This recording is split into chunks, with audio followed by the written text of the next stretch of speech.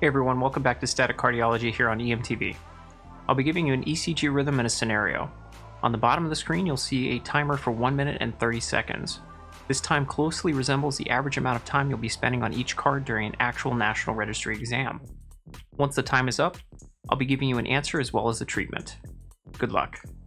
Three, two, one.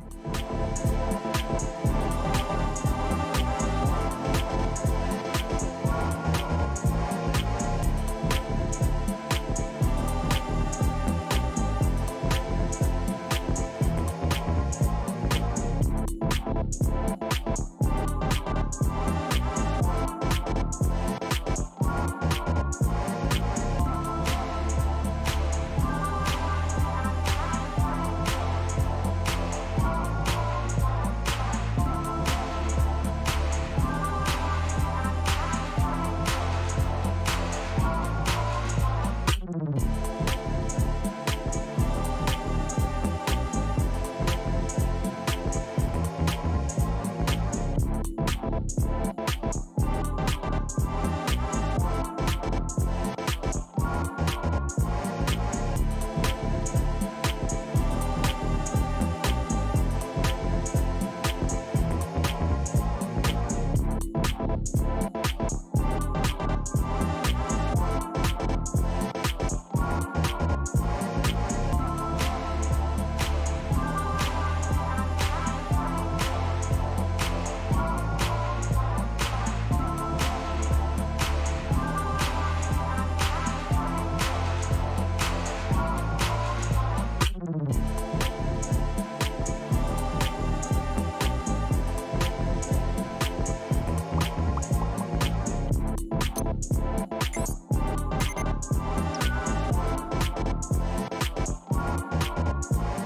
Even if you don't know anything about 12 lead interpretation, you can already tell that this rhythm is super duper fast.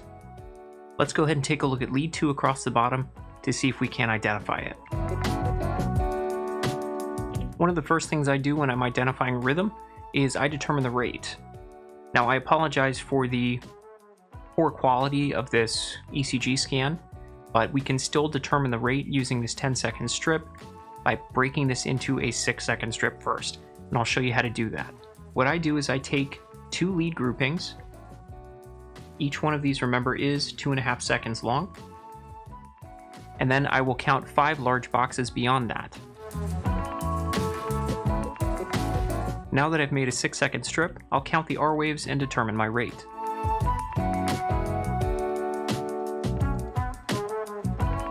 I'm counting 19 R waves, which would equal approximately 190 beats per minute. Next thing I'll usually do is look for P waves. Now in this particular rhythm, I'm not seeing a definitive looking P wave, it's sort of like an amalgamated P slash T wave. Beyond that, I'll then look at the R to R interval.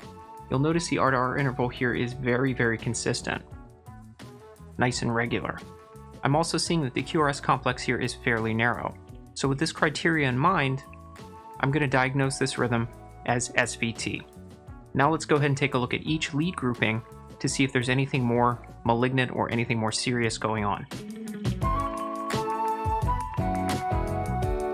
In my anterior slash septal leads, V1 through V4, I'm seeing a lot of ST segment depression, and this may be indicative of a global ischemia related to the high heart rate. My inferior leads, leads 2, 3, and AVF, are revealing more of the same. And I see no difference when I'm looking at my lateral leads, leads 1, AVL, V5, and V6. Now let's go ahead and take a look at this scenario. So we're going out to a local community college for a 20-year-old male who's been complaining of heart racing. Another term for this could be palpitations. Patient reports that he's been drinking several energy drinks over the last few hours in an attempt to study for his finals. He denies any chest pain or shortness of breath and is alert and oriented.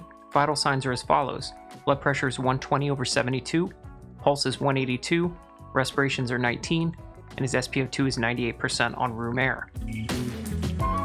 As the vast majority of your points in static cardiology are scored through correct treatment of this rhythm, we have to determine if this patient is stable or unstable in order to choose the correct treatment algorithm.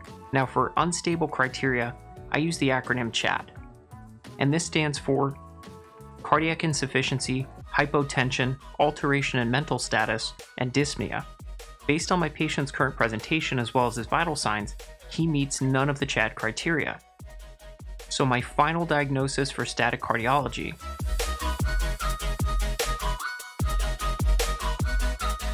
is going to be a stable SVT, or supraventricular tachycardia. Now let's go ahead and take a look at the treatment. Just like with every other static cardiology card, I'm going to begin treatment by regurgitating the mantra, scene safe, BSI, IV O2 monitor. Because this is a stable SVT, I'll then attempt a vagal maneuver, or have rather, I'll have the patient attempt a vagal maneuver, and then I'll move on to medications. For SVT, the most definitive medication is going to be adenosine. The first dose of adenosine will be 6 milligrams rapid IV push, and the second dose will be 12 milligrams rapid IV push. Following the adenosine, I could consider the administration of diltiazem, and this will be given as a slower IV push. The dose for this patient is going to be 0.25 to 0.35 milligrams per kilogram. Additionally, I could move on to beta blockers, such as metoprolol, atenolol, or labetalol, and then complete my treatment with IV fluids.